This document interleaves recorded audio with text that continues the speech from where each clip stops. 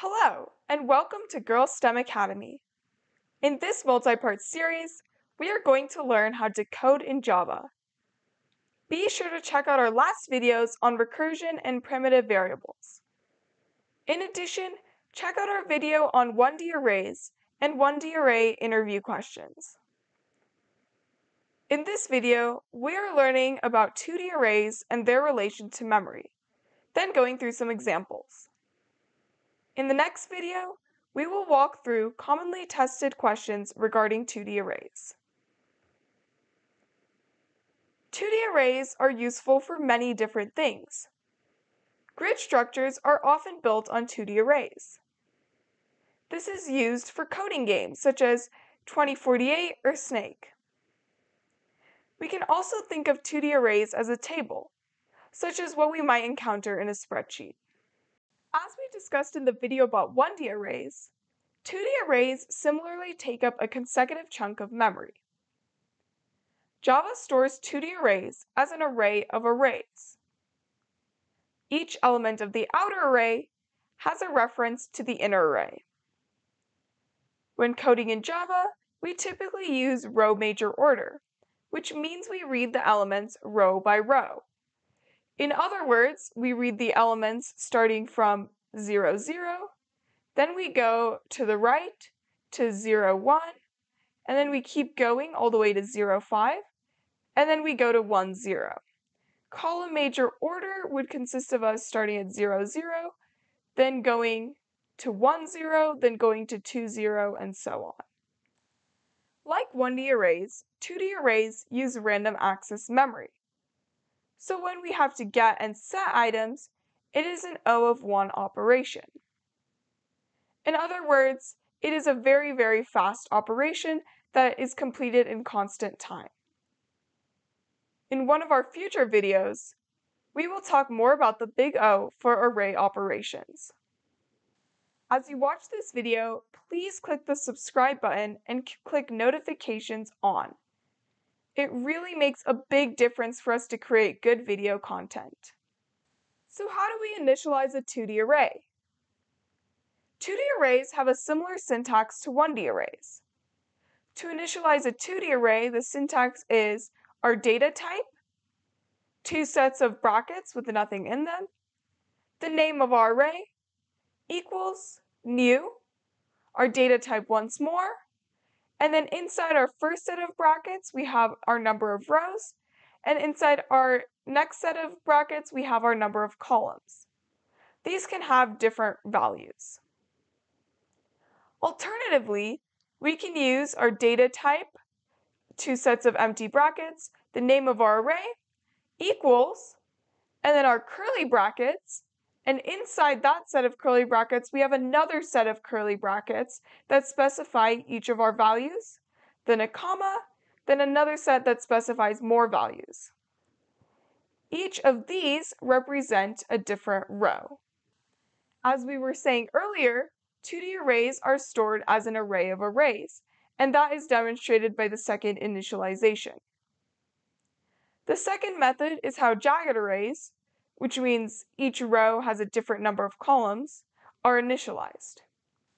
Notice how for both initializations, like with 1D arrays, the size of the array is clear. With 2D arrays, we cannot change the size or add more elements past the maximum. To do that, we have to allocate more memory with a new 2D array and copy all the elements to the new array. Let's put some of our array knowledge to use. To do this, I will be using the Eclipse IDE. First, let's initialize an array. I will be using an array of strings.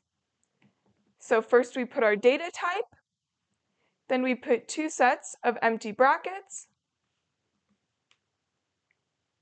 then the name of my array equals new our data type again, then in our first set of brackets, the number of rows, and in our second set of brackets, the number of columns. This means that there are two rows and three columns in my array. Alternatively, I can also do the same left initialization.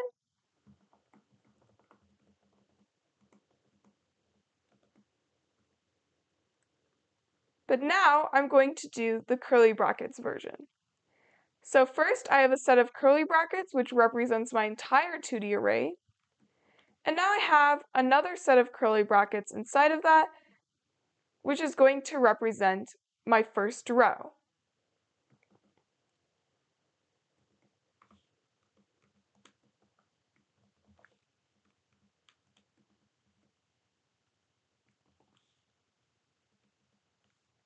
And now for my second row, another set of curly brackets.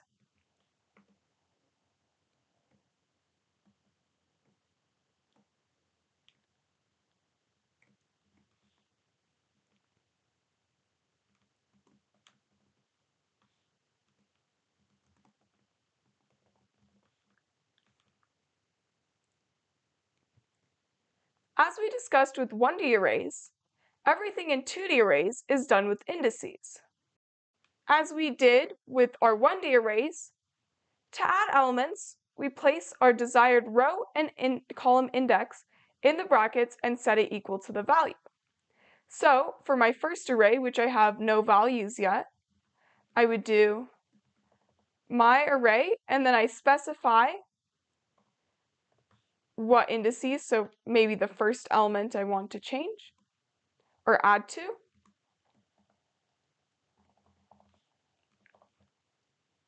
And now that is equal to coding. So if I print it out,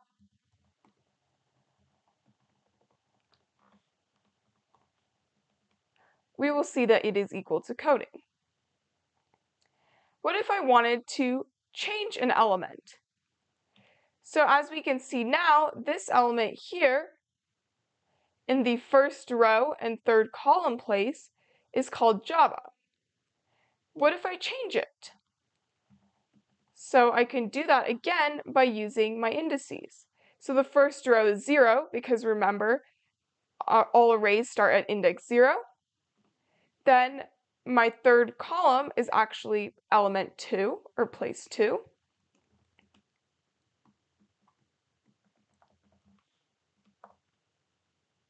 Now if I print that out, it would have changed the value from Java to Python.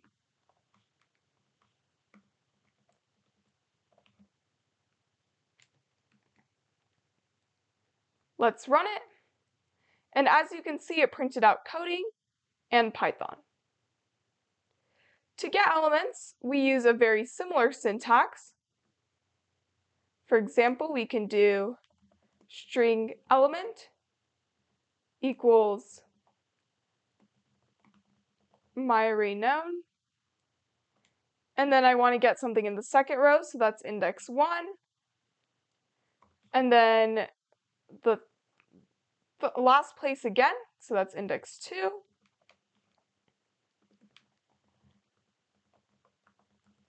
And now I'm going to print out my element. And as you can see, it prints out awesome.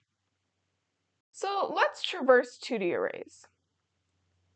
Recall that with 1D arrays, we needed a while loop or a for loop to traverse each element. However, to traverse a 2D array, we will need two for loops. One to go through each row, and one to go through each column.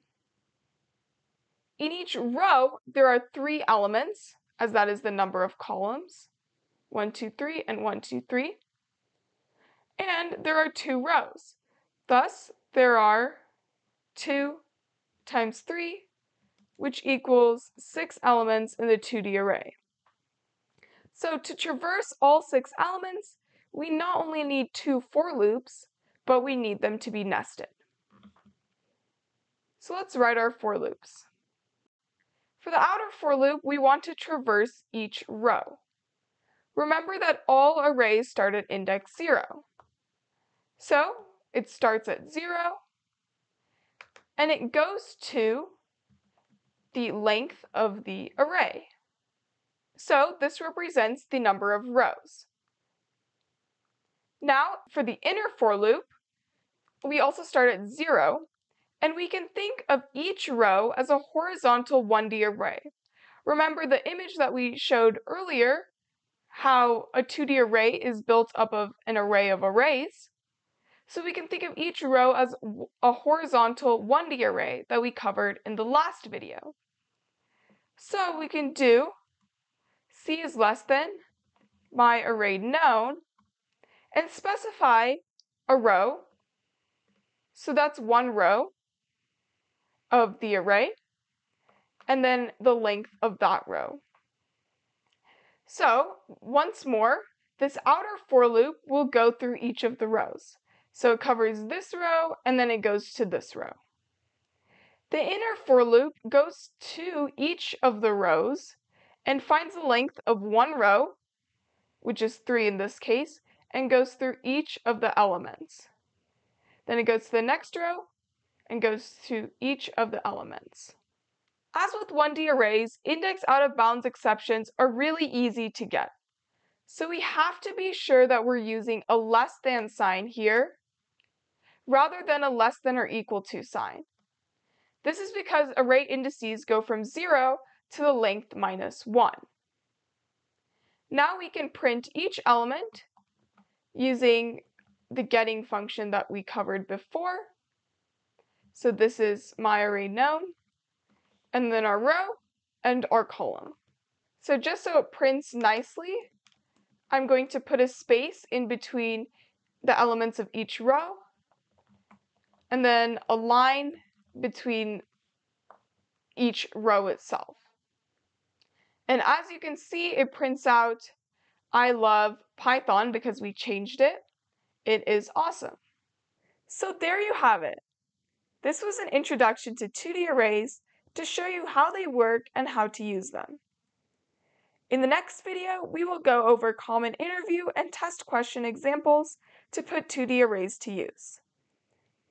Hope you enjoyed watching this video and learning about arrays in Java. If you want to see any other video from us on any topic or specific Java concept that interests you, please mention it in the comments below.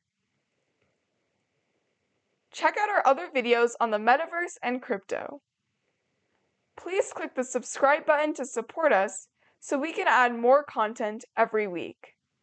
Thank you for watching!